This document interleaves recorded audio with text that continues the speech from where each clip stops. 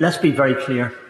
This was a deliberate act of intimidation following the release of an unflattering documentary about the country's leader.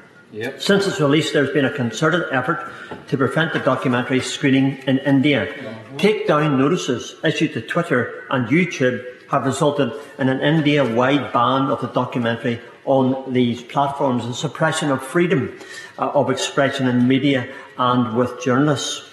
When students from universities across the country have tried to organise screenings of the documentary on university campuses, dozens have been arrested, while others faced internet blackouts with power cuts.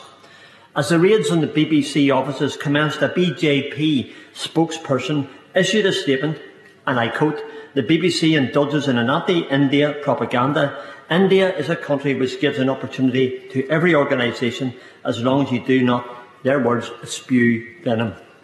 These raids have all the appearance, Madam Deputy Speaker, of a reprisal against the BBC. They have come at a time when independent media are being hounded more and more, and when pluralism is shrinking in India. Uh, not my words, but the, the assessment of Reporters Without Borders. Strong words indeed.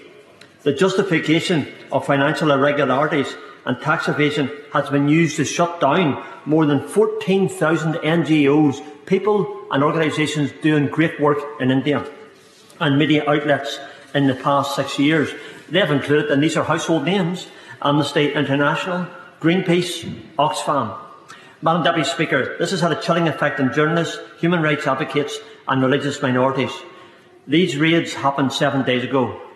In the time, in, that time, there has been silence, and I say this respectively, from the Foreign Commonwealth and Development Office.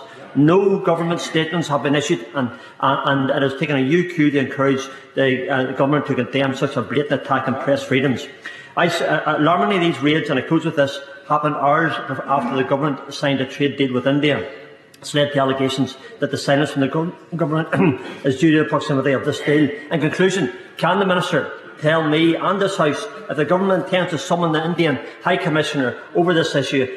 As I said in my opening remarks, I can't comment on the specifics of the allegations um, because uh, it's the BBC that's cooperating with the Indian authorities on this matter. And as, as the BBC has said, this is an ongoing investigation, and it would be inappropriate for us, that's the BBC, to comment further. Um, my honourable friend made some also, also some important points about uh, implications for NGOs and for faith-based organisations too. And he knows we continue to work with them on the ground, and that's an important issue for him. It's certainly an important issue for me.